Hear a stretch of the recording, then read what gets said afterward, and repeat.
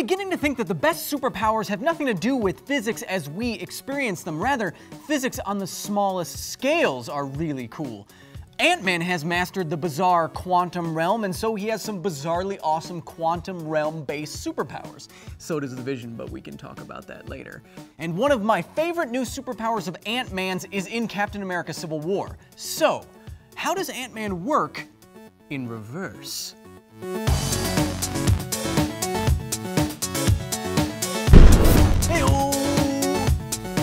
Okay, so spoiler alert if you haven't seen Captain America Civil War yet, but Bruce Willis was dead the whole time.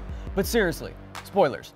So in Civil War, one of the biggest, literally, superpowered surprises was Giant Man, the ginormous reverse shrink version of Ant-Man.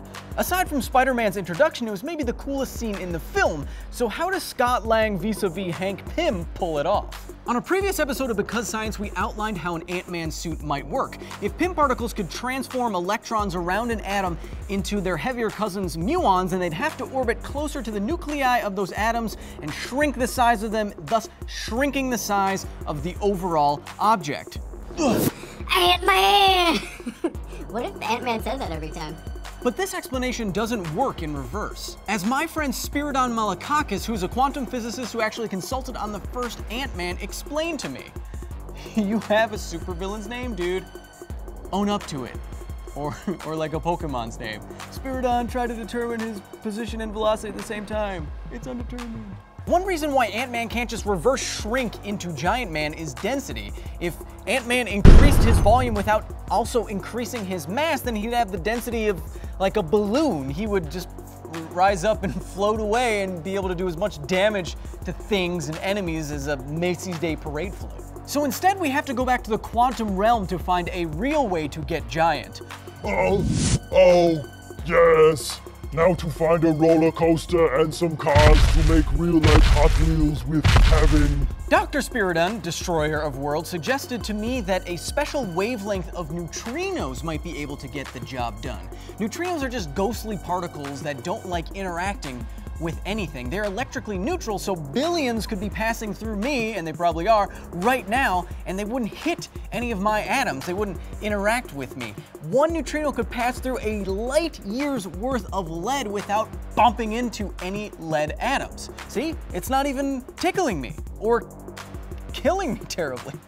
These special neutrinos produced by the suit would bypass the electrons and interact with the protons in every atom in Scott Lang's body, producing more neutrons and some positrons, which are just like electrons except they have a positive charge. The new nuclei with more neutrons wouldn't be able to hold the electrons as close to the center because they don't have a charge to help do that, so the size of the atom would increase and therefore the size of the entire object, Scott Lang's body. And those positrons that were created could interact with hydrogen gas also provided by the suit to create protons that would help balance the new charges in all of these atoms, and all that would be left were some cosmic rays flying out in every direction and hopefully not creating a new Hulk somewhere to destroy a whole planet.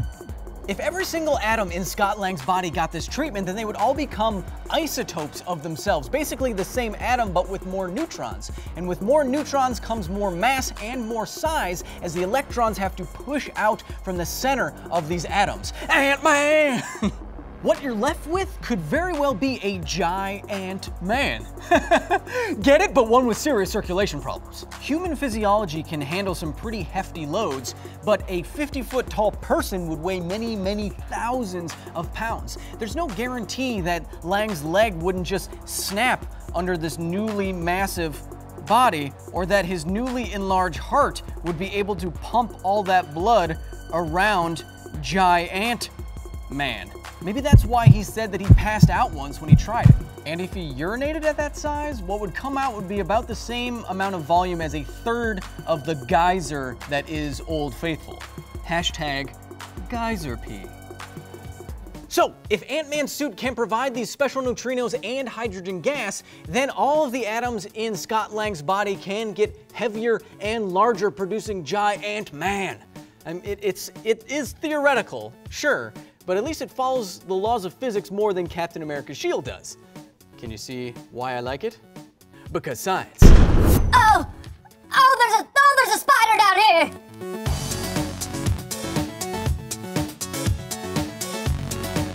Thank you so much for watching. So why does increasing the distance at which an electron orbits around the nucleus of an atom increase or decrease the size of an object? It's because when you touch something, that's what you feel. You're not feeling the thing, you're feeling that thing's electrons. The electrons repel each other, and so they cannot pass through each other.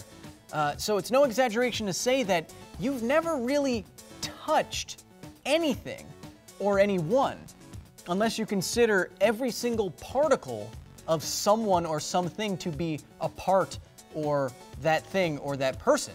Uh, it's kind of philosophical, it's kind of poetic, it's a lot of science.